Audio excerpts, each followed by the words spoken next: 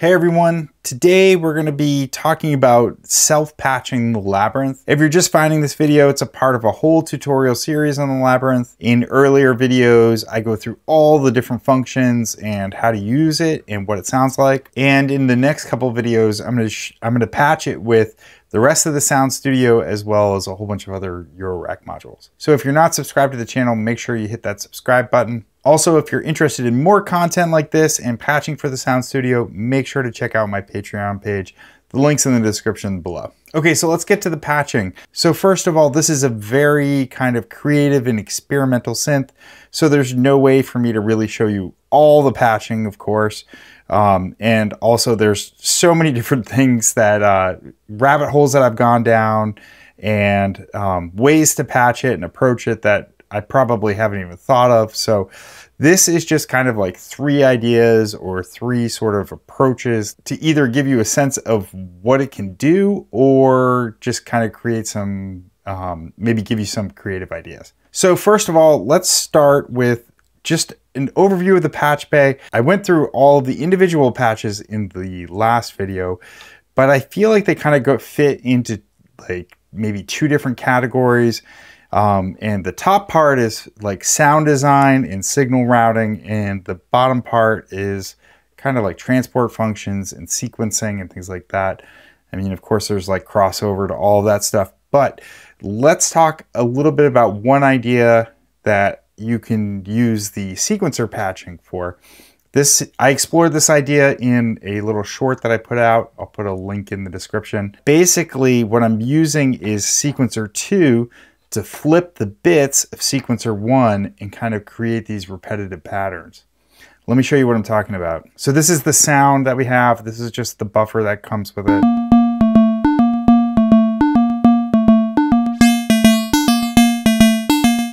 That's it. Um, so what we're going to do here is I'm going to, first of all, go through the sequencer and I'm going to flip all the bits of sequencer one. So now there's nothing playing.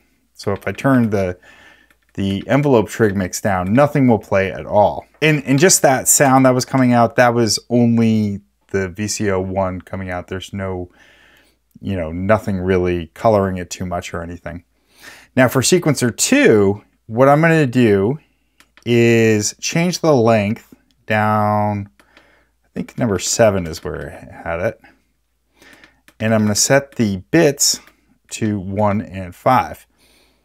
So what's going to happen, we're going to turn the sequencer to trig to bit flip right here, sequencer 1. Now what's going to happen is it'll slowly start lighting up the sequence and because of the ratio and the bits that I have turned on, you'll notice that it fills up to where it's playing all of them, and then it'll go back down to where it's playing no nothing. And so it'll go up and down and up and down. So watch this.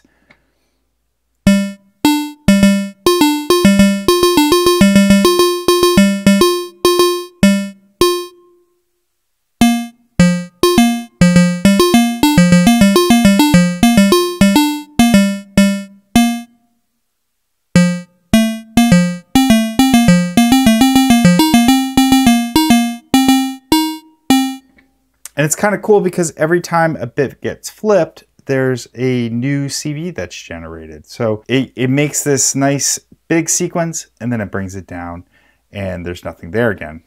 That sounds super cool if you were to turn the tempo way down, turn some killer reverb on. Here, let me put some, some reverb on after the fact and listen to it now.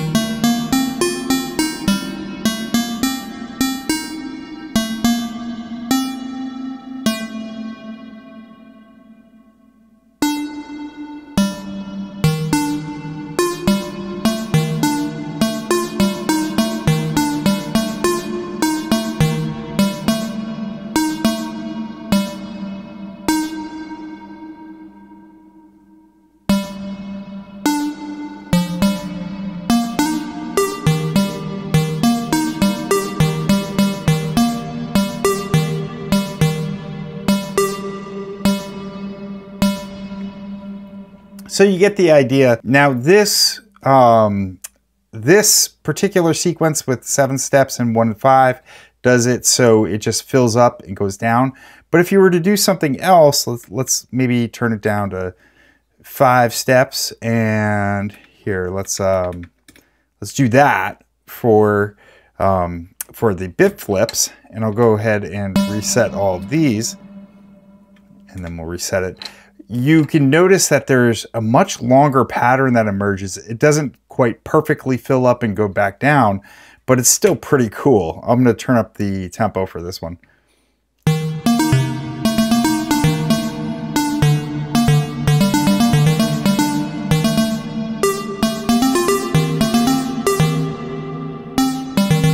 And if you notice right there, when it emptied out, it was resetting the whole sequence. And you'll notice that it just keeps repeating over and over again.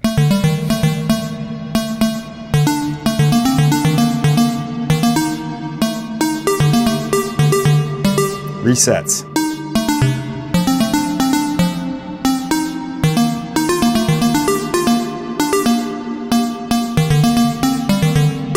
Resets.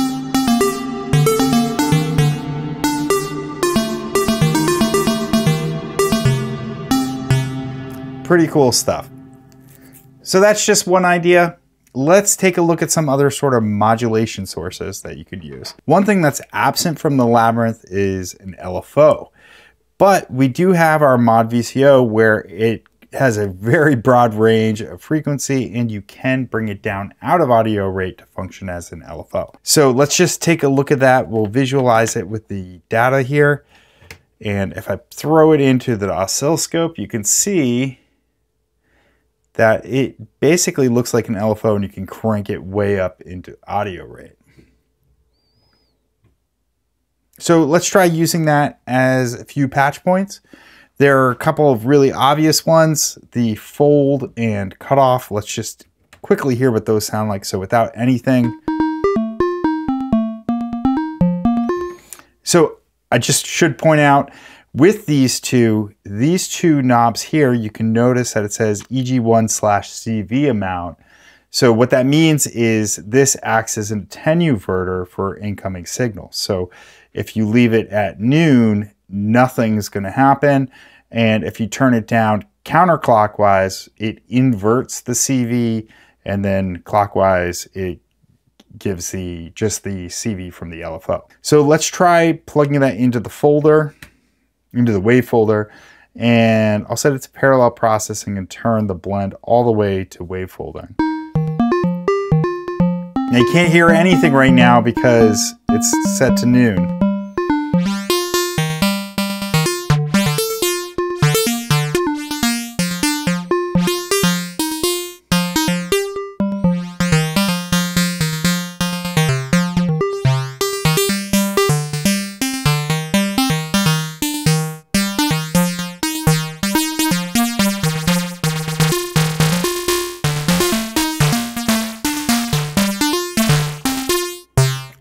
Create some really fun stuff if you crank this up into audio rate.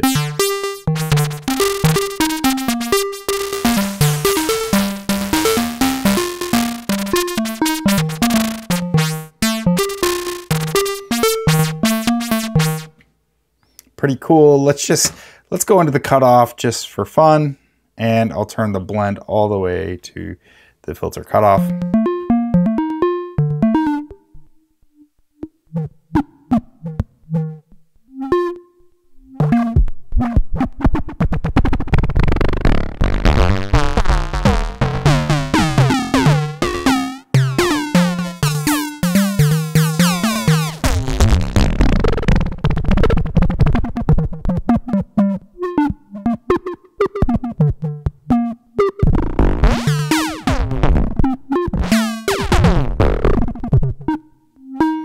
So it acts basically how you'd expect. There are a couple of other interesting patch points. Um, the first is this blend knob. Now, that's one of the cool things about the, um, the Labyrinth is that it kind of blends between these two parallel processing, uh, the wave folding and the cutoff. So it's kind of cool to see, um, to see the uh, LFO going back and forth between those. So let's just listen to that.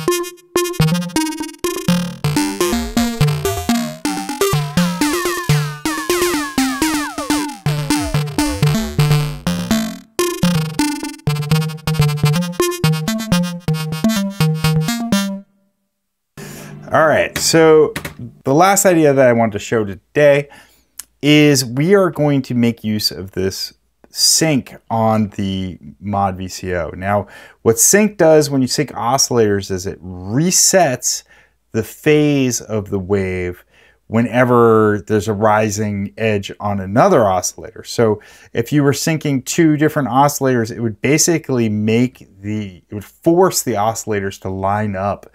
And what that does in practical terms is it makes them sound um, like they're tuned together. Now it's not perfect because um, obviously one oscillator is functioning at a different level, but because they are resetting over and over again, it almost has this kind of detuned, cool, um, they sound like they're in tune together. So, um, so what we're going to do is we are actually going to sync this this VCO to this VCO and kind of create some cool waveforms.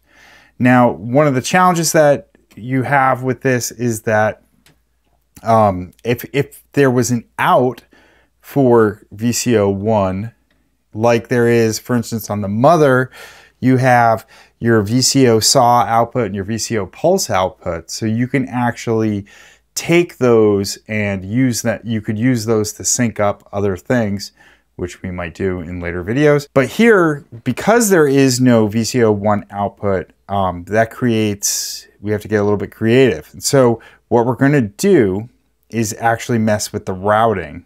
And notice we have this mixer out. Now, what that does is the sound that's coming through, it gets to the mixer section and we can take the output out there before it goes into our two colorizers. So if we do that, right now I have everything turned down but VCO1. So if we do that, that gives us, this signal is just VCO1. It basically turns that mixer into a VCO1 out. And I'm gonna sync up the mod VCO to it. So now it's almost like they're gonna be in tune together. In fact, I'm going to turn the gain way down on my mixer and I'm going to plug this in so we can actually hear it. And you'll notice that when I turn this VCO, it's going to tune it.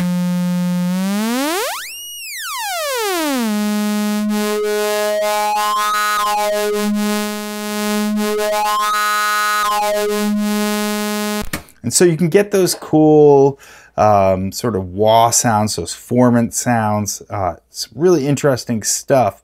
It almost sounds like vocal tones when you turn this way up.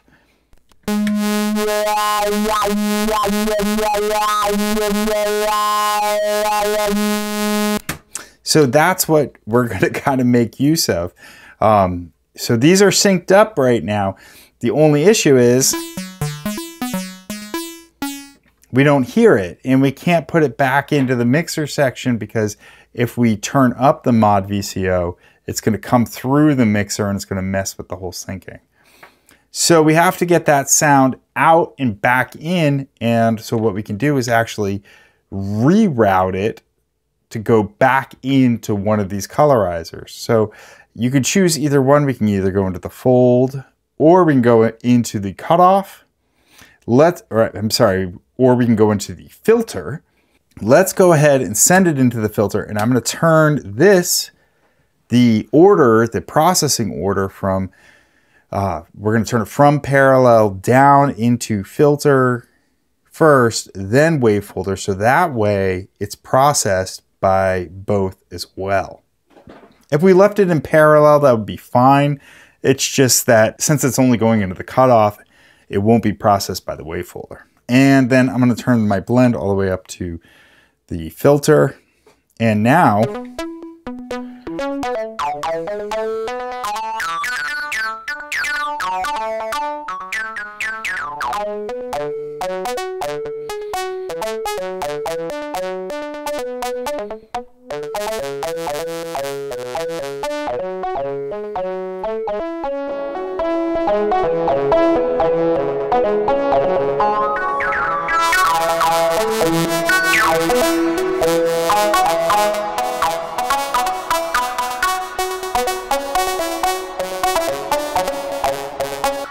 Pretty cool. Let's try actually sending it into the wave folder.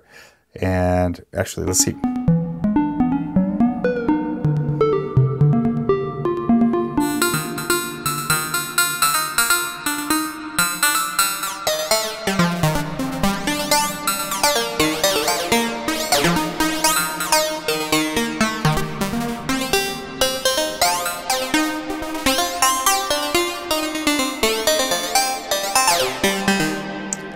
Sounds cool when there's some movement to it. So I'm going to turn up this amount.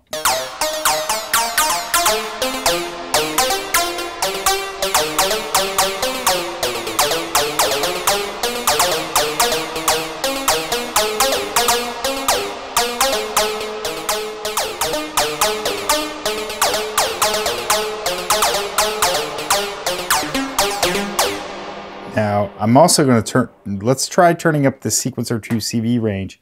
I'm turning this all the way up too, so we get that huge impact from that CV level.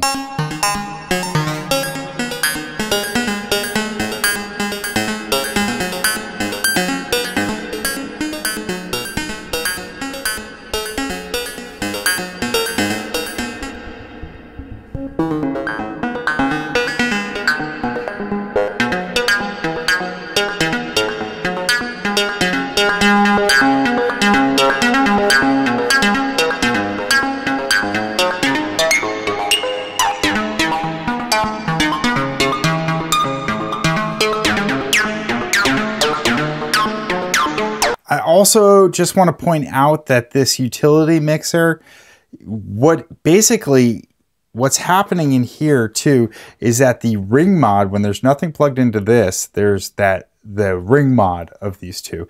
And that can produce some cool stuff as well. So if we look at what that looks like, when we turn this up to full volume, we get what the ring modulation looks like.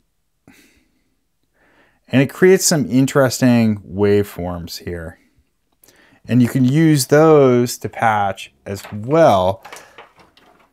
But now we're starting to get into creative stuff. So anyways, those are some good ideas. I'm just going to play around with some things to show us out. Uh, thanks so much for watching. In the next couple videos, I'm going to patch up the sound studio with it. And then I'm going to do a video with this Eurorack setup that I have hooked up here. So make sure you subscribe. Uh, let me know what you think in the comments section. Check out my Patreon page, you know, all that stuff. Thanks so much for watching. I'll see you next time.